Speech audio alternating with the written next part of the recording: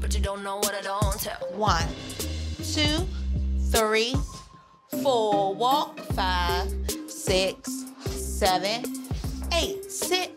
I invited two of my closest friends to join me for uh, some sexy chair dancing at the Sassy Nail Spa and Studio. Two, three, four, use all your counts. You know, little girl talk, little swig of the hips, you know, all that good stuff. And who knows what else will happen. Eight. Oh, Yes. we know this position. Yes. so let's do it from the one, let's do it from the count and go all the way there. Clifton has seen all of these moves, and then some. Three and four, yes, five, six, uh, seven, eight, and finish.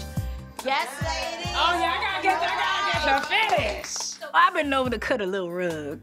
The sexual dance thing, I just kind of just got into it over like the past year or so. Not like the club, you know, you do a little two step. You know, we all got our two step locked in, a little robot, you know. But this is really the type of dance where you connect with yourself. Yes, we got you. Thank you. All right, thank you. Oh. I was trying not to be out of breath. Oh my God, I love this though. Cause they do it. We've never done this before. No, we haven't, but this is a great workout. I feel like it's like a twofold. So Yeah. you can sit there, you can do something sexy, cardio, and then mm-hmm. bring it back home and do the real work. That's right. One thing I can say about any of my ladies, they look, they gonna put forth that effort. They ain't they ain't quitters. A lot has happened with this new amoeba of women. One of the ladies, Ashley, mm-hmm. told one of her friends that Clifton and I are already married. Now, mind you, when I told her, I was like, you know, girl, don't say anything. She like, girl, you know, I'm not. Then so Christmas party, Ashley and I had not spoken. Honey, I got there, I probably hugged about four people. She was right there. We went and talked. I think I was out of that house probably about uh 7.8 minutes. Disa and Danelle, we've seen each other, our highs, our lows. And I have to say that our relationship now is probably the best it's ever been because how we communicate. It is so honest and pure. And it really is one of those like, girl, I don't know why the hell you did that. You better stop doing that. Like literally, those are the type of conversations we're we're having now, as opposed to, oh, you know, go with your soul, whatever your heart says. Yeah, they like, nah, that stop. Then there was one of those, I don't know, pivotal moments in history where she wants to quote unquote break fourth wall. And it's like, you and Clifton wouldn't be here if it wasn't for me. Beware. This environment, this space, this opportunity. And so that's what's jacked up, right? She's been wanting to say that. Really?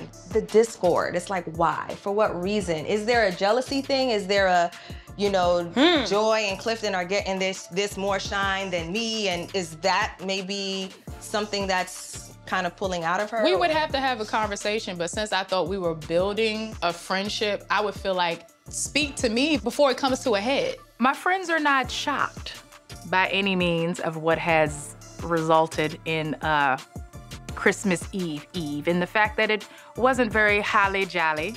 They know I'm not good at accepting BS.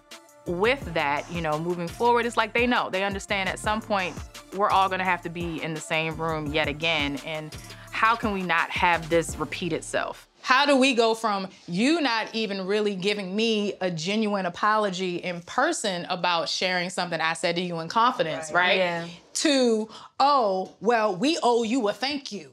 You get what I'm saying? That, mm-hmm. That's weird and odd to me. Y'all know how I work, how I operate. I mean, you kick me out once, you will never be able to kick me out again. So sorry that happened to you. I'm not sorry. but my best friends are never shocked by any story that they hear coming from me.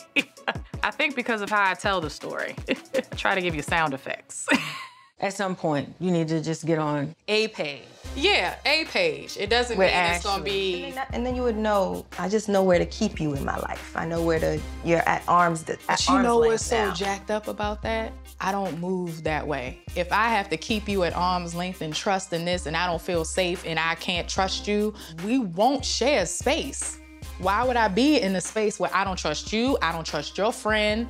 You know what I'm saying? Why would I do that? Like my priority, I think the other reason why I kind of held off on reaching out to Ashley is also my priority is Clifton. He's still in pain, not as much pain, but that's my priority. At this point, you're going to have to be around these ladies. And so that's what I mean. Just keep them at arm's length. As far as cordial, that's that's cool. Like you Keep said, him at foot length. like- Take over. I'm really like 70 30 as far as like reaching out to Ashley. Like, you know, I technically I wasn't supposed to bring C home, so I can't bring C's. So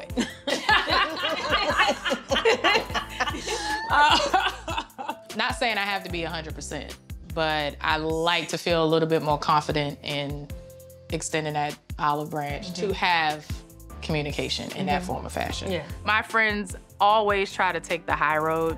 They always try to reel me back in and remember, like, you know, be the adult, be the bigger person. I love you. I love you too. Gotta go get the bill. Yes, I have to go.